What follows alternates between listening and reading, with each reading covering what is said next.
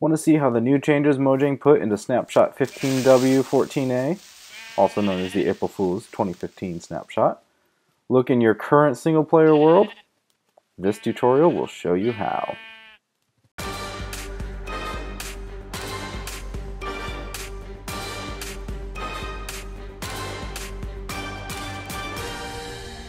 Well guys, it's April Fool's Day 2015 and Mojang has done it again.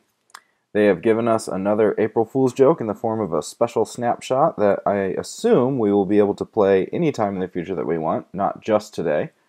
Now, I won't go into the details of what's included in this snapshot because that's not what this video is about. If you want to know more specifically what's included, check out Mojang's official announcement, which I will link to in the description. Looks like that. That's pretty much it. Now, that link will also give you instructions on how to play Minecraft using this snapshot, and I'm going to go ahead and assume that you have already done so according to Mojang's instructions before watching this video. Alright, I've gone ahead and loaded up the new snapshot, so here we are, 15W14A. Now, if you guys were like me when you first saw this snapshot, you were definitely entertained by all the changes, but also frustrated by the fact that they only let you have one world at a time. I've already created my world here, so I don't see the option to create a new one. I can reset the world if I want to, but it still is going to only let me have one world at a time, and it has to be a newly generated world. You can't use any existing worlds that you already have in your Minecraft folder, in any of your save folders. Now, I really wanted to see what the snapshot would look like in some of my worlds, because I've already built things in them, and I want to see what all these changes would look like in relation to that. Well, I'm about to show you exactly how you can do just that. Also, just to show you that I have already went ahead and created that world and this is what it looks like.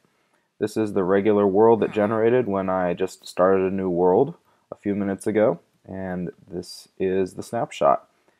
I want to replace this with one of my own worlds though so I'll show you guys exactly how to do that right now. Right, so the very first thing that you want to do is go ahead and quit the game. Now before I go any further I want to make sure that I reiterate as I did in the title this video will give you instructions on how to do this on the Mac. This is not an instruction video for how to do it on PC as I am not on a PC. If someone knows how to do this on the PC, if it's any different, if there are differences, please feel free to share that in the comments. If someone makes a video that says how to do that, I'll gladly share that as well so that people can know how to accomplish this. I'm just going to show you how to do it on the Mac.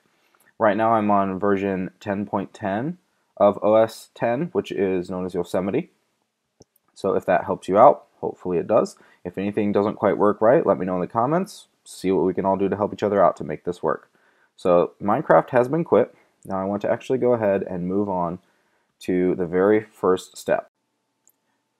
Alright, so the very first thing that you want to do is go up to Finder here and go to this menu option right here where it says Go.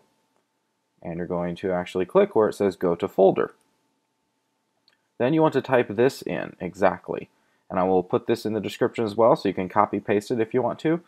If you type it in yourself, just make sure that you put a space between application and support. So when you click go, it'll open up your Finder window and take you deep within the files on your computer, right here where you have your Minecraft file. This has everything that's inside of your Minecraft file, including all of your versions, which right here we see 15W14A, that's the snapshot that we're running. I've got some of my modded versions in here too. I've got the actual vanilla versions of the game. Everything is listed in here. But mainly, this is where we're going to be, right here where it says saves. Now, all of these save files are all single player worlds that I have, so if I were to go into the actual Minecraft game and click on single player, I would see each one of these as a menu option for a world that I could click on and load up. But what I want to draw your attention to right now is this, what is in mind, the third folder, called existence.af15. That is a reference to the April Fool's 15 single player file that is generated when you first do so on the snapshot, the 15W14A snapshot. This is where everything that is used to play that particular world is stored.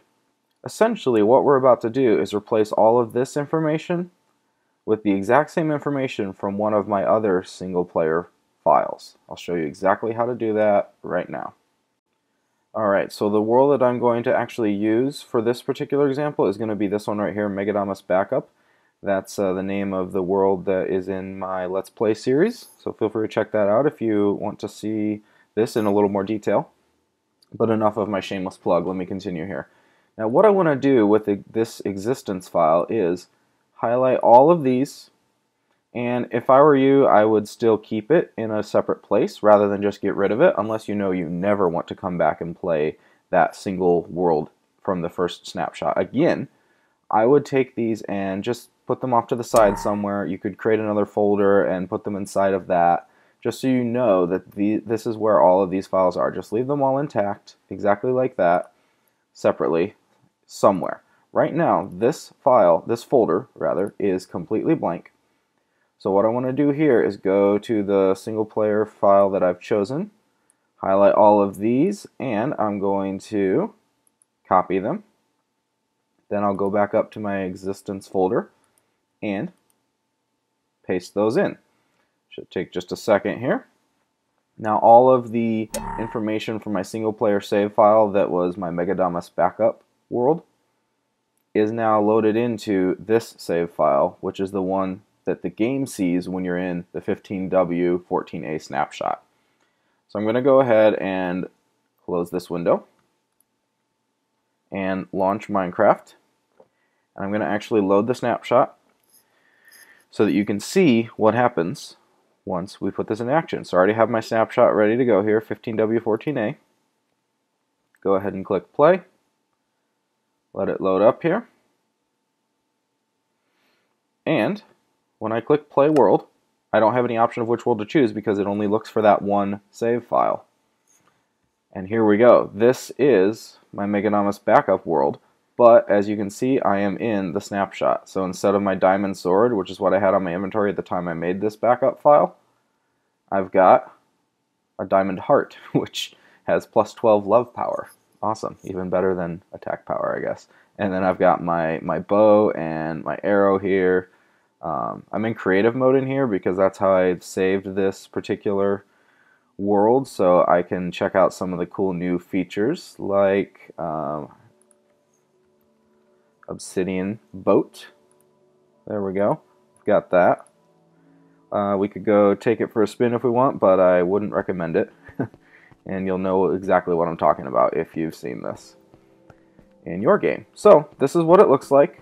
That's how to do it Thanks for watching the tutorial. If you have any questions, please add them in the comments. Have a great day.